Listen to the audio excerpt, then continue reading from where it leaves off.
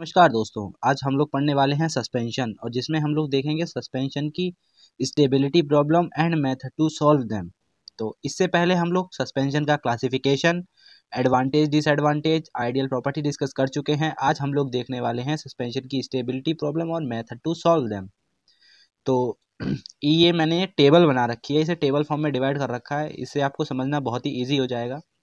सबसे पहले ये प्रॉब्लम्स लिखी हैं, फिर उनका रीज़न लिखा है और फिर सोल्यूशन लिखा है, ठीक है? तो वन बाय वन करके हम इन्हें डिस्कस करेंगे।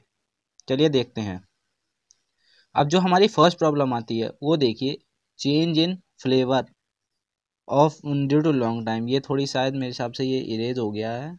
यहाँ पे ये फ्लेवर है एफ़ एल ठीक है? तो ये है change in flavour long time जब भी सस्पेंशन को ज़्यादा समय तक रखा जाता है तो इसका फ्लेवर चेंज हो जाता है। तो वही यहाँ पे लिखा हुआ है, देखिए flavouring agent are added to suspension to mask unpleasant flavour suspension का जो भी ख़राब टेस्ट होता है उससे मेंटेन रखने के लिए फ्लेवरिंग एजेंट डाले जाते हैं।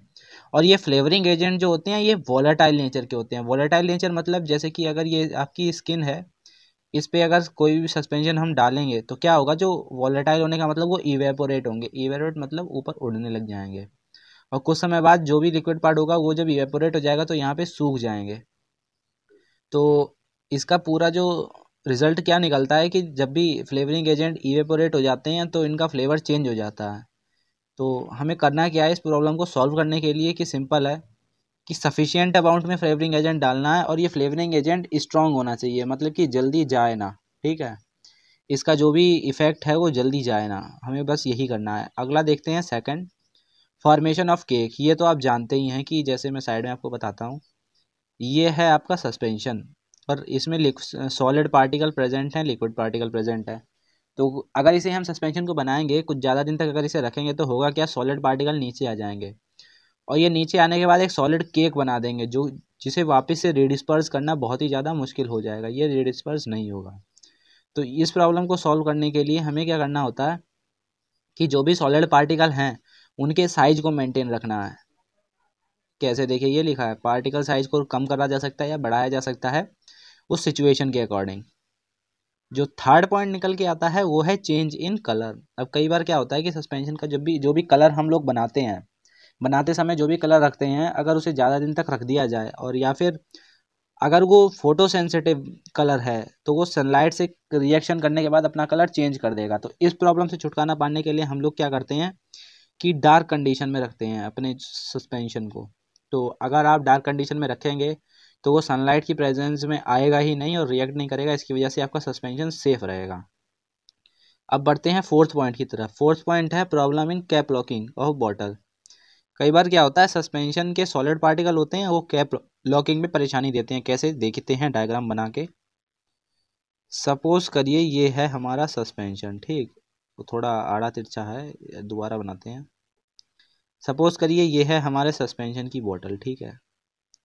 और ये है यहाँ पे कैप लगना है। और ये कैप ऐसे करके कुछ लगेगा इस पर ज़्यादा बड़ा बना दिया है कैप कैप छोटा बनाते हैं। अब ये कैप इस पर लगना है। तो क्या होगा कि अगर सॉलिड पार्टिकल जो अंदर ऐसे करके प्रेजेंट है, ये यहाँ यहाँ, अगर ये यहाँ पे ऐसे करके आ गए तो हो सकता है कि जो ये कैप यहाँ पे लगना है, इसे ना लगने दें। इसे सॉलिड पार्टिकल के आने से यहाँ पे आ जाएगी समस्या तो ये कैप नहीं लग पाएगी। ओके? तो इस प्रॉब्लम को दूर करने के लिए क्या करा जाता है कि सुइटेबल व्हीकल का यूज़ किया जाता है। व्हीकल कौन होते हैं? हमारे डिस्पर्जन मीडियम जो होते हैं, जो लिक्विड पार्ट है, वो सुइटेबल व्हीकल कहलाते हैं। तो वो सुइटेबल होने चाहिए। जैसे कि ग्लिसरीन या ग्लूकोज का हम यूज़ करके जो कैप लॉकिंग की प्रॉब्लम है, इसे कम कर सकते हैं। अब देखते हैं हमारे लास्ट पॉइंट की तरफ़। वैसे तो इसके कई पॉइंट हैं। हमने पर आज फाइव पॉइंट से डिस्कस किए हैं। देखिए चेंज इन विस्कोसिटी विस्कोसिटी का मतलब आप जानते ही हैं, गाढ़ापन। जो भी ज़्यादा डेंस लिक्विड होता है, उसे ही बोला जाता है विस्कोसिटी क्या होता है कि जब कभी कभी ज़्यादा दिनों तक रखा जाता है सस्पेंशन को तो उसकी विस्कोसिटी चेंज हो जाती है। या तो वो बढ़ जाएगी या वो कम हो जाएगी। तो होगा क्या? इसे सॉल्व कैसे किया जाएगा?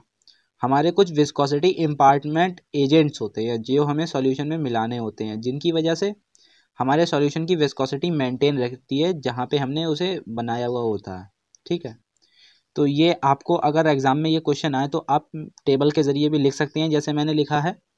या आप अपने हिसाब से थ्योरी फॉर्म में बना के इसे लिख दीजिएगा, ठीक है? तो मैंने तो आपके लिए बहुत ही बेस्ट वे चूज़ किया है टेबल के ज़रिए आपको आसानी से समझ आ जाएगा। तो अगर आपको इसके नोट्स चाहिए हो तो डिस्क्रिप्शन में मैं लिंक दे दूँगा, जहाँ से आपको ये नोट्स मिल जाएँगे। और अगर आप चैनल पर नए हैं तो चैनल को सब्सक्राइब कर लीजिए। इस वीडियो को लाइक ज़रूर कर दीजिए और अपने दोस्तों तक ज़रूर पहुँचाइए ताकि उनकी भी हेल्प हो सके। तो मिलते हैं किसी और एक अच्छी सी वीडियो में, तब तक के लिए धन्यवाद।